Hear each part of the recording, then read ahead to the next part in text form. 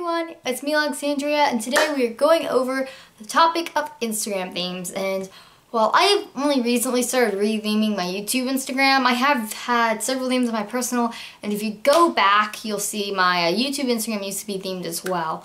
Now um, a theme is kind of, it's a little tricky to explain, but have you ever looked at someone's feed on Instagram and just looked at it and thought, wow, that looks amazing?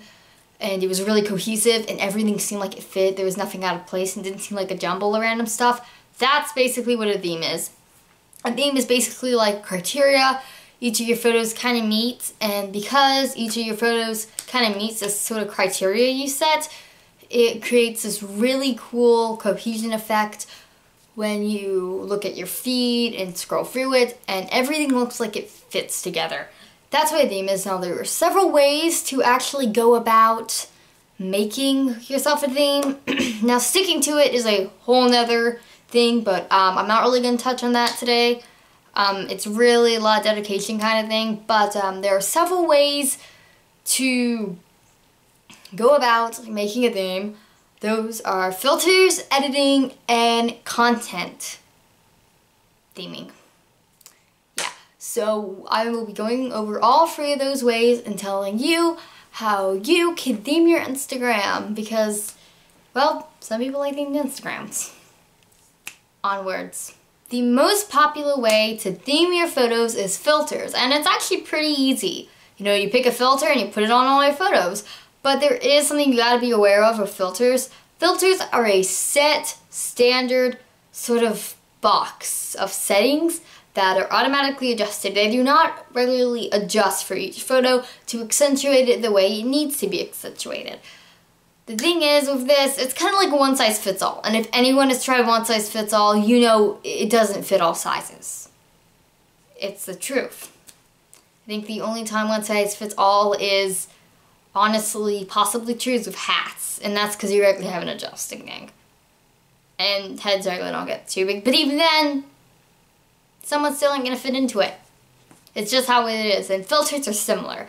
Regularly, the photo they use for um, filter testing, kind of that uh, stock photo, is regularly one with good lighting and good contrast, and regularly is a very good quality photo.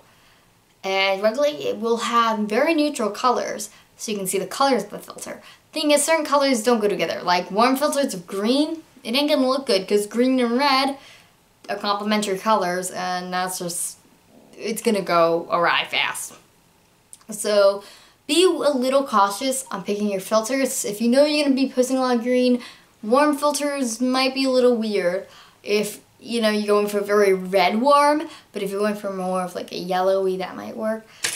Um, now, a couple of apps that people um, have seen uh, kind of seen and used. Some of these I haven't used, so um, they might not actually have filters, I don't know. One of the very most popular is VSCO Cam. One of the big reasons VSCO Cam is so popular is because of the fact it has a um, kind of gallery thing that is free by how many ever rows of photos you have. But um, basically allows you to view your photos and get a kind of a preview your feed because it's just like Instagrams. So a lot of people really like it for that. I'm not a biggest fan of their filters, but they do have some cool effects. So I would check it out. Uh, again, you're going to need to adjust your photo for every filter though. And that's just kind of the thing with photos. Um, I have heard of a couple of random apps. Um, Aviary had some filters, but I think a lot of them were paid. Um, that's an Adobe app. It's decent for editing. I'm not to totally recommend it. Though, um, I have heard of Afterlight. I'm not sure if it's a filter app, so download it and it isn't. I'm sorry, I've never used it. I actually don't know. Um, Google Photos, which I highly recommend if you have Google+. Plus. I think it comes with Google+. Plus. It is awesome for backing up. I highly recommend for backing up. Uh, they have a couple of filters too. I kind of forgot if I really liked them. I don't think I really did. But they might work for what you need. And uh, then you have Instagram filters. Most of them suck. But um, if you like them, go ahead. Because, you know, you can do you.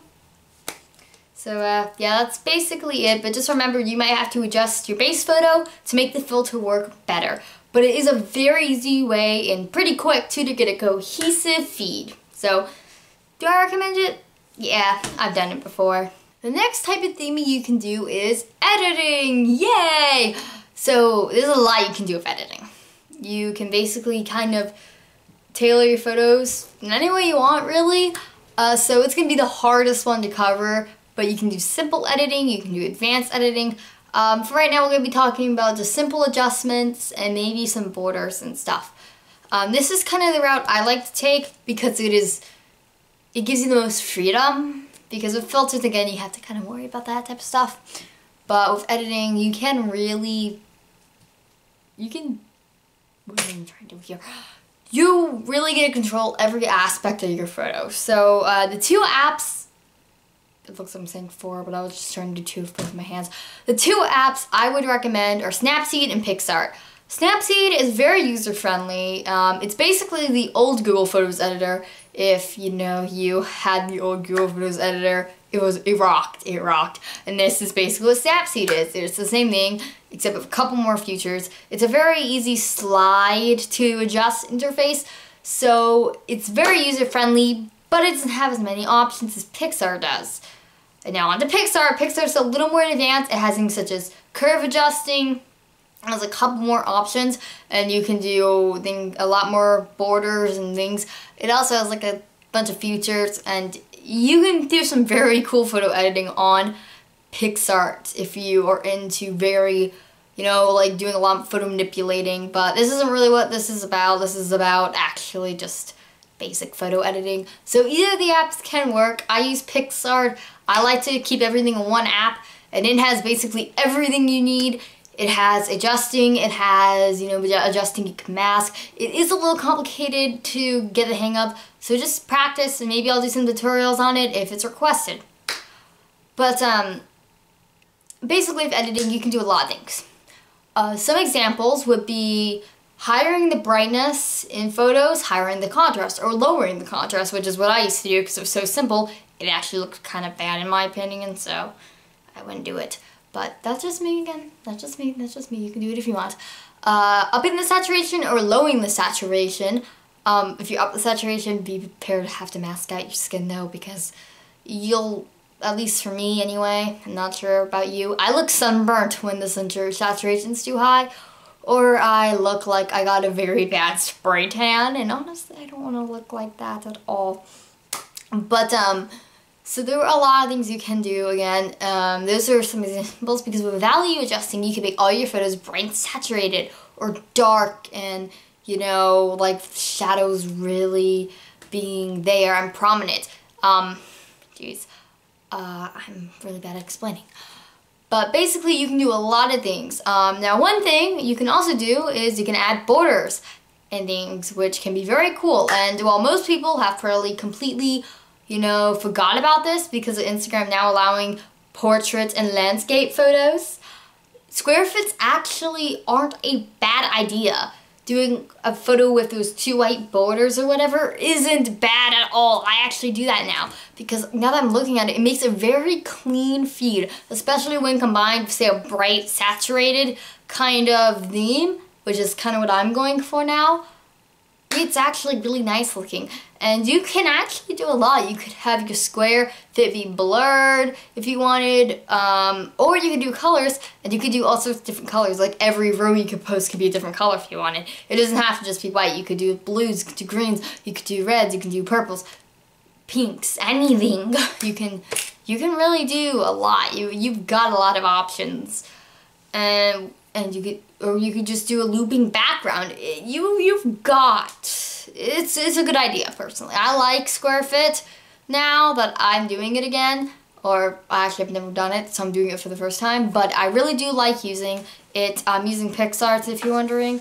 It's very useful actually, and it allows you to see the entire thumbnail of a photo from far away, and it gives us really cool floating effects from when you're scrolling through the feed. Obviously, you don't have to use that if you don't want to.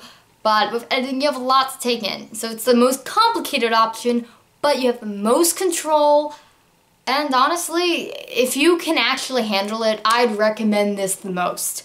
But then again, that's just me. You might like the next option more. Or you might like the last one. I don't know. The final way of theming your photos is content theming. This is the one that allows you the least freedom. I'll go ahead and say that now. Content theming would be posting just one particular type of photo. So like a photo of like your outfit in front of a mirror every single day or something.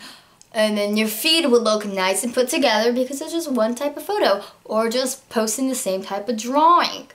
Or things like that. Or certain objects that are say a certain color. Or certain things associated with a season. Things like this are not a bad idea for a theme if you can't think of anything else and you don't really like the crud posts as people call it even though they actually use a swear word but I'm allowed, not allowed to swear so oopsie daisy I can't say that but um you know where did my voice go where did my words go? Where did they go? Did they fly off? Did, did, did, did they go to the, did they go to the Bahamas? What? Where are they? Get back here. Anyway, back to what I was saying. Uh, basically, um, content theming won't give you much freedom though. But you can combine it with things like editing and filtering and get a really, really nice cohesive feed. And if that's what you're going for, I'd recommend. And honestly, you can combine this with editing and filtering, as I just said, and you will get something really, really cool. Um, now, obviously, geez, have I just been leaning up in my chair this entire video? Because I think it started out like this and then I'm going like this. Okay, I need to get back on topic. Sorry. Um, back on topic. But um, this won't give you as much freedom, but your feed will be very nice. And if there's only one thing you really like to post about, you might as well do it. It'll make your feed look nice, and honestly, eh, why not? Alright, um, that's about it for Instagram theming. Obviously, you don't have to theme your Instagram if you don't want to. It's your choice, and Honestly, it can get annoying having to edit every single photo you post. But it is something to consider if you really like put together feeds like I do. So anyway, that's about wraps everything up.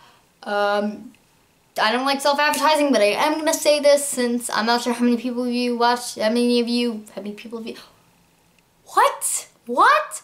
Uh, I'm not sure how many of you watched my last video, so I'm just to kind of say this again. If you have ever kind of looked at my art and likes it, um, I am opening, I have commissions open on DeviantArt.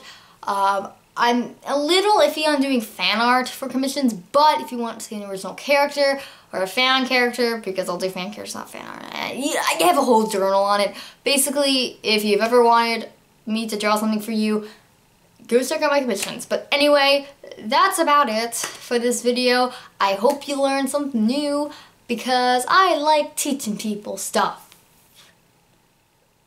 Soda. Anyway, alright, let me just end this video so nothing else goes out of any, uh, nothing else goes wrong. As always, like this video if you like this video, favorite this video if you favorite this video, comment your opinions and subscribe if you want to. Peace out, have a great day, and I will see you next time, guys. Bye-bye, and I'll catch you later. Bye.